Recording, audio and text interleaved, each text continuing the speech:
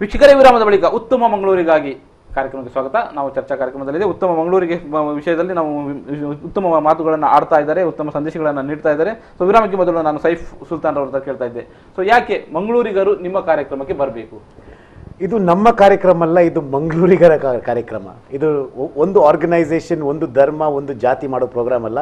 ಇದು ಮಂಗಳೂರಿನ ಎಲ್ಲ ಜನರು ಮಾಡ್ತಿರೋ ಪ್ರೋಗ್ರಾಮ್ ನೀವು ಆರ್ಗನೈಸರ್ಸ್ ಲಿಸ್ಟ್ ನೋಡಿದರೆ ನಾವು ಒಂದು ಇದಕ್ಕೆ ಸೀಮಿತ ಮಾಡಲಿಲ್ಲ. ಎಲ್ಲ ಮಂಗಳೂರಿದ್ದು ಎಲ್ಲ ಜಾತಿ, ಎಲ್ಲ ಸಾರಿ ಎಲ್ಲ ಆರ್ಗನೈಸೇಷನ್ಸ್ ಹೆಸರು ಹಾಕಿದ್ದೇವೆ ನಾವು ಆ್ಯಸ್ ಆರ್ಗನೈಸರ್ಸ್ ಅದು ಬರೀ ಹೆಸರು ಹಾಕಿದ್ದು ಅಲ್ಲ ನಾವು ಮೀಟಿಂಗ್ಸ್ ಕೂಡ ಎಲ್ಲ ಸ್ಟ್ರಿಕ್ಟ್ಲಿ ಎಲ್ಲ ಅಟೆಂಡ್ ಮಾಡಿಸಿದ್ದೇವೆ. ಸೊ ಇದು ಮಂಗಳೂರಿನವರ ಪ್ರೋಗ್ರಾಮ್ ಇದು ನಿಮ್ಮ ಕಾರ್ಯಕ್ರಮ. ನೀವು ಎಲ್ಲರೂ ಬರಬೇಕು. ಎಲ್ಲ ಧರ್ಮಗುರುಗಳ ವಿಷಯ ಏನು, ಅವ ಧರ್ಮ ಗ್ರಂಥಗಳಲ್ಲಿ ಯೂನಿಟಿ ವಿಷಯ, ಸಹಬಾಳ್ವೆ ವಿಷಯ ಏನಿದೆ ಅಂತ ನೀವು ಅಲ್ಲಿ ತಿಳಿದುಕೊಳ್ಳಬೇಕು. ಮತ್ತು ನಾವು ಯುನೈಟೆಡ್ ಇದ್ದೇವೆ. ಜೊತೆಯಲ್ಲಿ ಇದ್ದೇವೆ ಅಂತ ನೀವು ತೋರಿಸ್ಕೊಡ್ಬೇಕು ಎಲ್ಲ ಕಮ್ಯುನಿಟಿಗಳಿಗೆ ನೀವು ಬರಲೇಬೇಕು. ಸೊ ಪ್ಲೀಸ್ ಸೆಪ್ಟೆಂಬರ್ ಒಂಬತ್ತಕ್ಕೆ ನಾಲ್ಕು ಗಂಟೆಗೆ ಪುರಭವನ ಮಂಗಳೂರಕ್ಕೆ ನೀವು ಎಲ್ಲ ಬನ್ನಿ, ಜೊತೆಗೂಡಿ ಉತ್ತಮ ಮಂಗಳೂರಿಗಾಗಿ ನಾವು ಒಂದಾಗೋಣ. ಸೊ ವಾಲ್ಟರ್ ಅವರೇ ಸೊ ಇವರು ಮಾತಾಡ್ತಾ ಈಗ ಹೇಳ್ತಾರೆ ಯುನಿಟಿಗಾಗಿ ಯಾವ ಧರ್ಮಗಳು ಏನು ಹೇಳಿದಾವೆ ಅಂತ ನಾವು ತಿಳಿಸ್ಲಿಕ್ಕಿದ್ದೇವೆ ಅಂತ. ಸೊ ನಾನು ಈಗ ಕ್ರಿಶ್ಚಿಯನ್ ವಿಷಯದ ವಿಷಯದಲ್ಲಿ ಯುನಿಟಿಗಾಗಿ ಏನು ಹೇಳಿದೆ ಧರ್ಮದಲ್ಲಿ, ಅದನ್ನು ಕೂಡ ಅಂತ ಹೇಳಿ ಬಯಸ್ತೇನೆ ನೋಡಿ ದೇವರ ವಾಕ್ಯ ಅಥವಾ ನಾವು ಹೇಳುವ ಹಾಗೆ ಸತ್ಯವೇದದಲ್ಲಿ ಪ್ರಕಟ ಮಾಡಿರತಕ್ಕಂಥ ಒಂದು ಅಮೂಲ್ಯವಾದ ಸತ್ಯ, ದೇವರು ಈ ಲೋಕವನ್ನು ಉಂಟು ಮಾಡಿದ್ದಾನೆ ಮತ್ತು ದೇವರು ಯಾವ ಧರ್ಮವನ್ನು, ಯಾವ ಭಾಷೆ, ಯಾವ ಜನಾಂಗವನ್ನು ಆತನು ಉಂಟು ಮಾಡಲಿಲ್ಲ ಆದರೆ ಮನುಷ್ಯನಲ್ಲಿ ಸಹಜವಾಗಿ ದೇವರು ಇದ್ದಾನೆ ಎಂಬಂತಹ ತಿಳುವಳಿಕೆಯನ್ನು ದೇವರು ಖಂಡಿತವಾಗಿ ಮನು ಮನುಷ್ಯನಲ್ಲಿ ಕೊಟ್ಟಿದ್ದಾನೆ. ಆತನು ಮನುಷ್ಯನನ್ನು ಮನುಷ್ಯನು ದೇವರನ್ನು ಹುಡುಕುವವನಾಗಿದ್ದಾನೆ. ಆದರೆ ಸತ್ಯವೇದ ತಿಳಿಸ್ತಕ್ಕಂಥ ಒಂದು ಅಮೂಲ್ಯವಾದ ಸತ್ಯವೇನೆಂದರೆ ಮನುಷ್ಯನು ದೇವರನ್ನು ಹುಡುಕುವಂತಹ ಸಂದರ್ಭದಲ್ಲಿ ದೇವರು ತಾನಾಗಿಯೇ ತನ್ನ ಕುಮಾರನಾದ ಯೇಸು ಕ್ರಿಸ್ತನನ್ನು ಮಾನವನ ಕಲ್ಯಾಣಕ್ಕಾಗಿ, ರಕ್ಷಣೆಗಾಗಿ ಕಳುಹಿಸಿಕೊಟ್ಟಿದ್ದಾನೆ. ಆತನನ್ನು ನಂಬುವವರಿಗೆ ಬಿಡುಗಡೆ ಉಂಟು ಎಂಬಂಥ ಸಂದೇಶ ಅದು ಕ್ರೈಸ್ತ ಸಂದೇಶವಾಗಿದೆ. ಇದು ನಾವು ಹೇಳುವಂತಹದ್ದು ಏನೆಂದರೆ ಜೀವಸ್ವರೂಪನಾದಂಥ ದೇವರು ಸತ್ಯವೇದದಲ್ಲಿ ಬರೆದದ್ದು, ಆತನು ಒಳ್ಳೆಯವರ ಮೇಲೂ, ಕೆಟ್ಟವರ ಮೇಲೂ, ಏಕಕಾಲದಲ್ಲಿ ಮಣೆ ಮಳೆಯನ್ನು ಬರಮಾಡುತ್ತಾನೆ. ಒಳ್ಳೆಯವರನ್ನು, ಕೆಟ್ಟವರನ್ನು ಎಂಬುದಾಗಿ ದೇವರು ವಿಭಾಗಿಸಿ ಆ ರೀತಿಯಾದಂಥ ತಾರತಮ್ಯ ಮಾಡುವಂಥದ್ದನ್ನು ಬೈಬಲಲ್ಲಿ ನಾವು ನೋಡುವುದಿಲ್ಲ. ನಮ್ಮ ಒಂದೇ ಒಂದು ಉದ್ದೇಶ, ಈ ಲೋಕದಲ್ಲಿ ಇರತಕ್ಕಂಥ ಎಲ್ಲ ಜನರು ನಾವು ಒಂದೇ ಜನಾಂಗ ಮಾನವ ಧರ್ಮಕ್ಕೆ ಸೇರಿದವರು ओके सर इकबाल भाई क्या आप बता सकते हैं मतलब यूनिटी के बारे में आपके अ, गुरु क्या क्या कहते हैं हमारे ग्रंथ में जो है जो संत हुए हैं वो चाहे हिंदू हो मुस्लिम हो उनकी सभी की वाणी को एकत्रित करके गुरु अर्जन देव जी ने उसके एक ग्रंथ साहब बनाए हैं गुरु ग्रंथ साहब उसमें शेख फरीद जी भक्त कबीर जी और यहाँ के कर्नाटक के भी हैं नामदेव जी कबीर जी ने इन्होंने कबीर दास ने बोला है अव्वल अल्लाह नूर उपाया कुदरत के सब बंदे एक नूर ते सब जग उपजिया कौन भले कौन बंदे जो एक लाइट है वो अकाल पुरख जो एक भगवान है वो सभी को एक ही जो है एक ज्योति ने बनाया है। उसमें हमने यहाँ पर आकर के डिवाइड किया है। किसी ने उसको अल्लाह का रूप दिया है किसी ने राम का रूप दिया है किसी ने गोविंद का रूप दिया है।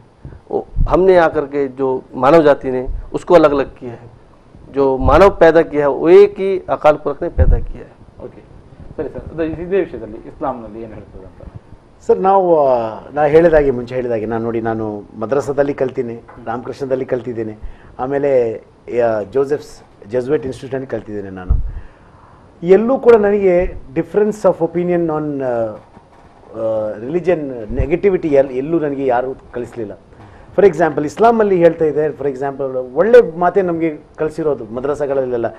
ಒಂದು ಚಿಕ್ಕ ಎಕ್ಸಾಂಪಲ್ ನೀವು ನಿಮ್ಮ ಹೊಟ್ಟೆ ತುಂಬಿ ಮಲಕ್ ಮಲಗ್ತಾ ಇದ್ದಾರೆ ಆದರೆ ನಿಮ್ಮ ನೇಬರ್ ಖಾಲಿ ಹೊಟ್ಟೆಯಲ್ಲಿ ಹಸಿದ ಹೊಟ್ಟೆ ಹಸಿದ ಹೊಟ್ಟೆ ಮಲಗಿದ್ರೆ ನೀವು ಮುಸಲ್ಮಾನರಲ್ಲ ಅಂತ. ಅದು ನೇಬರ್ ಹಿಂದೂ ಆಗಲಿ ಕ್ರಿಶ್ಚಿಯನ್ ಆಗಲಿ ಯಾವ ನೇಬರ್ ಅಂತ ಮಾತ್ರ. ನೇಬರ್ ಮಾತ್ರ ಹೇಳಿದ್ದು. ಬರೀ ಮುಸ್ಲಿಂ ನೇಬರ್ ಅಂತ ಅಲ್ಲಿ ಹೇಳಿಲ್ಲ.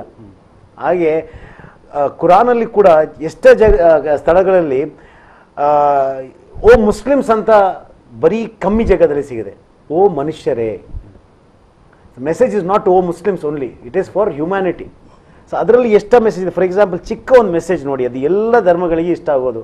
ಇಂಥ ಮೆಸೇಜ್ಗಳು ನಾವು ಕೊಡಬೇಕು. ಫಾರ್ ಎಕ್ಸಾಂಪಲ್ ಒಬ್ಬ ಒಬ್ಬ, ಒಂದು ಜನ ಬಂದು ನಮ್ಮ ಪ್ರವಾದಿ ಮೊಹಮ್ಮದ್ ಸಲ್ಲಾ ಅಲೈಹಿ ವಸಲ್ಲಂ ಪೀಸ್ ಬಿ ಅಪೋನಿಮ್ ಅವ್ರ ಹತ್ರ ಬಂದು ಕೇಳ್ತಾರಂತೆ ದೇವರು ಅಲ್ಲಾಹ್ ಮತ್ತು ನಿಮ್ಮ ಮೇಲೆ ನಾವು ಯಾರಿಗೆ ಜಾಸ್ತಿ ಮರ್ಯಾದೆ ಕೊಡಬೇಕು, ಅಲ್ಲದ ಪ್ರೀತಿ ಮಾಡಬೇಕು? ಫಸ್ಟ್ ಅವ್ರು ಹೇಳಿದ್ರು ತಾಯಿ. ನೆ ಅದಾದ ಮೇಲೆ ಅಂತ ಕೇಳಿದ್ರು. ನೆಕ್ಸ್ಟ್ ಯಾರು? ತಾಯಿ. ಅದಾದ ಮೇಲೆ ಅದ್ರ ಮನಸ್ಸು ಕೇಳಿಲ್ಲ. ಅವರಂದ್ರೆ ಒಂದು ಗಂಡಸರಲ್ಲ. ಅದಾದ್ಮೇಲೆ, ತಾಯಿ. ಲಾಸ್ಟಿಗೆ ನಾಲ್ಕನೇ ಸರಿ ಹೇಳಿದ್ರು ಅವರು ತಂದೆ ಅಂತ. ಸೊ ಇಷ್ಟು ಇಂಪಾರ್ಟೆನ್ಸ್ ರಿಲಿಜನ್ ಕೊಟ್ಟಿದ್ದು. ಅದು each and every religion is talking about these nice things about family life about you know ಸಹ ಬಾಳುವ ವಿಷಯ ತಂದೆ ತಾಯಿ ವಿಷಯ, ಹೇಗೆ ರೆಸ್ಪೆಕ್ಟ್ ಮಾಡೋ ವಿಷಯ, ಎಲ್ಲ ಇದೆ. ಸೊ ಈ ಮೆಸೇಜಸ್ ನಾವು ಜಾಸ್ತಿ ಜನರಿಗೆ ಕೊಡಬೇಕು. ಆ ನೆಗೆಟಿವಿಟಿಯನ್ನು ಕಟ್ ಮಾಡಿಬಿಟ್ಟು ಪಾಸಿಟಿವ್ ಜಾಸ್ತಿ ಮೆಸೇಜಸ್ ಈಚ್ ಗ್ರಂಥದಲ್ಲಿ ಏನಿದೆ ಅವ್ರು ಹೇಳಿದಾಗೆ ಇವ್ರು ಹೇಳಿದಾಗೆ ನಾವು ಹೇಳಿದಾಗೆ it has to go to everyone so okay ನೀವು ಅಂದ್ರೆ ಈಗ ಧರ್ಮ ಗ್ರಂಥಗಳ ಬಗ್ಗೆ ಧರ್ಮದ ವಿಷಯದ ಬಗ್ಗೆ ಹೇಳಿದ್ರಿ. ಸೊ ಎಲ್ಲ ಧರ್ಮಗಳು ಒಂದನ್ನೇ ಹೇಳ್ತದವೆ. ಬಟ್ ಈ ನೀವು ಜೊತೆಯಲ್ಲಿ ಸೇರ್ಕೊಂಡವರು ಯಾರೆಲ್ಲ ಈಗ ಕೇಳಿ ನಮಗೆ ಇವತ್ತು ನೀವು ಹೇಳಿದ ಹಾಗೆ ಅರವತ್ತು ಎಪ್ಪತ್ತು ವಿವಿಧ ಸಂಘಟನೆಗಳಿದಾವೆ ಅಂತ ಹೇಳಿದ್ರಿ. ಅದರಲ್ಲಿ ಹದಿನಾರು ಸಂಘಟನೆಗಳು ಮಾತ್ರ ಈಗ ಸದ್ಯಕ್ಕೆ ನಿಮ್ಮ ಜೊತೆಲಿದ್ದಾರೆ. ಸೊ ಯಾವುದೆಲ್ಲ ಸಂಘಟನೆಗಳಿದ್ದಾವೆ ಅಂತ ಒಮ್ಮೆ ಕ್ಲಿಯರ್ ಮಾಡಿಬಿಡಿ. ಸರ್ ಇದರಲ್ಲಿ Ahinda Dakshina Kannada district ಅಲ್ ಹಕ್ foundation Bantara Nadavara Matru Sangha Catholic diocese of Mangaluru D S S professor B Krishnappa ಸ್ಥಾಪಿತ Dakshina Kannada Hidaya foundation highland Islamic forum hope foundation Jain Samiti Mangaluru Karnataka Christian educational society Karnataka Komu ಸೌಹಾರ್ದಿಕೆ Souharda Vedike Karnataka missions network Dakshina Kannada KKMA Karnataka branch M friends Mogaveera Mahajana Sangha Muslim ಲೇಖಕರ ಸಂಘ Shri Guru Singh Sabha society talent research foundation Yuva Vahini ಕೇಂದ್ರ ಸಮಿತಿ ಬಿಲ್ಲವರ ಸಂಘದ್ದು. So ಅದು youth ಅವರದು youth Yuva Vahini ಅಂತ. So ಇದು ಇಷ್ಟೆಲ್ಲ organisations have come together sir ಇಷ್ಟೆಲ್ಲ ಜೊತೆಗೂಡಿದ್ದಾರೆ. ಓಕೆ ಅಂದರೆ ನೀವು ಏನಂದರೆ ಮುಖ್ಯವಾಗಿ ನೀವು ಮೊದಲ ನಿಮ್ಮ ಉದ್ದೇಶ ಅಂದರೆ ಕೋಮು ಸೌಹಾರ್ದವನ್ನು ಮೂಡಿಸುವುದು ಅಂತ. ಆಬ್ಸಲ್ಯೂಟ್ಲಿ ಸರ್ ಸೊ ಈ ಕೋಮು ಸೌಹಾರ್ದ ಮೂಡಿಸ್ಲಿಕ್ಕೆ ಅಂದ್ರೆ ಕೇವಲ ಸಭೆಗಳು ಸಾಕಾಗ್ತದ? ಅಥವಾ ಜನರಲ್ಲೂ ಯಾವ ರೀತಿ ಅವೇರ್ನೆಸ್ ಬರಬೇಕು? ಅಂದ್ರೆ ಸಭೆಗಳು ಮಾಡಿದ ಮಾತ್ರಕ್ಕೆ ಎಲ್ಲ ಜನರಿಗೂ ತಲುಪಲಿಕ್ಕೆ ಸಾಧ್ಯ ಇಲ್ಲ. ಇಲ್ಲ. ಹೊರತಾದ ಕಾರ್ಯಕ್ರಮಗಳು ಬೇಕಾಗ್ತದೆ. ಸೊ ಆ ದಿಸೆಯಲ್ಲಿ ಜನರಿಗೆ ಏನು ಹೇಳಲಿಕ್ಕೆ? ಅಂದ್ರೆ ಏನು ಏನು ಜನರಲ್ಲಿ ಎಂತ ಬದಲಾವಣೆಗಳು ಬೇಕು ಅಂತ ನೀವು ಬಯಸೋದು? ಸರ್ ನಾವು ನಮ್ಮ ಪ್ರಧಾನ ಮಂತ್ರಿಯವರು respected prime minister has made a beautiful ಒಂದು ಕಾನ್ಸೆಪ್ಟ್ ತಂದಿದ್ದಾರೆ ಸ್ವಚ್ಛ ಭಾರತ್ ಅಂತ. ಸೊ ನಮ್ಮ ಎಲ್ಲ ಭಾವಕ್ಕೆ ಸ್ವಚ್ಛ ಭಾರತ್ ಆಗತ್ತೆ ಆದರೆ ಸ್ವಚ್ಛ ಮನಸ್ಸುಗಳಿಂದ ಸ್ಟಾರ್ಟ್ ಆಗುತ್ತೆ ಅದು. ಮನಸ್ಸುಗಳು ಸ್ವಚ್ಛ ಆದರೆ ಸ್ವಚ್ಛ ಭಾರತ ಅದು ಸ್ಟೆಪ್ ನೆಕ್ಸ್ಟ್ ಸ್ಟೆಪ್ ಆಗುತ್ತೆ. ಸೊ ಇದು ನಮ್ಮ ಪ್ರಯಾಸ ಆಗಿರುತ್ತೆ. ಈ ಇಂಥ ಕಾರ್ಯಕ್ರಮಗಳು ನೀವು ನಿಮ್ಮ ದ, ತಾಲೂಕುಗಳಲ್ಲಿ, ನಿಮ್ಮ ವಿಲೇಜಸ್ಗಳಲ್ಲಿ ಇಂಥ ಚಿಕ್ಕ ಚಿಕ್ಕ ಪ್ರೋಗ್ರಾಮ್ಗಳನ್ನು ಮಾಡಿದರೆ ಎಲ್ಲರಿಗೆ ಒಂದು ಪಾಸಿಟಿವ್ ಮೆಸೇಜಸ್ ಕೊಟ್ಟರೆ ನಿಮ್ಮ ಊರುಗಳಲ್ಲಿ, ನಿಮ್ಮ ಹಳ್ಳಿಗಳಲ್ಲಿ ಇಂಥ ಪ್ರೋಗ್ರಾಮ್ ಹಿಂದೂ, ಮುಸ್ಲಿಂ, ಕ್ರಿಶ್ಚಿಯನ್ ಎಲ್ಲ ಧರ್ಮಗುರುಗಳನ್ನು ತಂದು ಒಳ್ಳೆ ಒಂದು ಟಾಪಿಕ್ ಇಟ್ಟು ಅದು ಯೂನಿಟಿ ಆಗಿರಲಿ, ಅಲ್ಲದ್ರೆ ಬೇರೆ ಬೇರೆ ವಿಷಯಗಳಲ್ಲಿ ಯೂನಿಟಿ ಮತ್ತು ಡೌರಿ ಸಿಸ್ಟಮ್ ಇಲ್ಲಾದ್ರೆ ಎಜುಕೇಷನ್ ವಿಷಯ, ಅವ್ರ ಹತ್ರ ಮಾತಾಡಿಸಿ ಅವ್ರ ಜನರಿಗೆ ಮುಟ್ಟಿಸಬೇಕು ಅಂತ ನಮ್ಮದು ರಿಕ್ವೆಸ್ಟ್ ಆಗಿರುತ್ತೆ.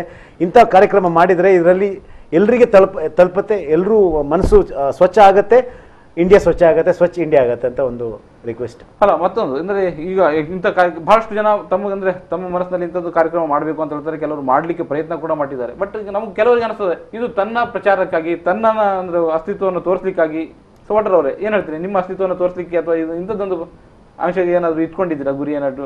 ಅಂತ ಅಂತ ಯೋಚನೆಗಳು ಜನರಲ್ಲಿ ಬಂದರೆ ಏನು ಅದಕ್ಕೆ ಪ್ರತಿಕ್ರಿಯೆ ಕೊಡ್ತೀರಿ ನೀವು? ಇದರಲ್ಲಿ ಖಂಡಿತವಾಗಿಯೂ ನಮ್ಮ ಅಸ್ತಿತ್ವವನ್ನು ನೋಡುವುದಕ್ಕಾಗಿ ನಾವು ಒಟ್ಟಾಗಿ ಸೇರಿ ಬಂದದ್ದಲ್ಲ.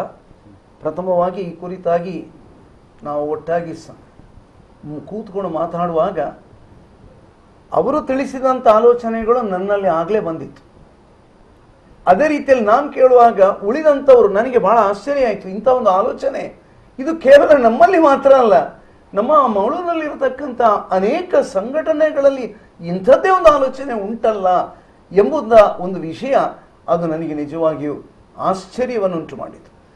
ವೈಯಕ್ತಿಕವಾಗಿ ನಾನು ಹೀಗೆ ನಂಬುತ್ತೇನೆ ಅಂತ ಹೇಳಿದರೆ ದಿಸ್ ಇಸ್ ಗಾಡ್ ಆರ್ಡೈನ್ಡ್ ಒಂದು ವೇಳೆ ದೇವರು ತಾನಾಗಿ ನಮ್ಮ ಮಂಗಳೂರು, ಅದು ಉತ್ತಮವಾದಂಥ ಮಂಗಳೂರಾಗಿ ಮಾರ್ಪಡಬೇಕು ಎಂಬಂಥ ಒಂದು ಉದ್ದೇಶ ಆ ಪರಮಾತ್ಮನದ್ದು ಉಂಟೆಂಬುದಂತೂ ವೈಯಕ್ತಿಕವಾಗಿ ನಾನು ನಂಬ್ತೇನೆ.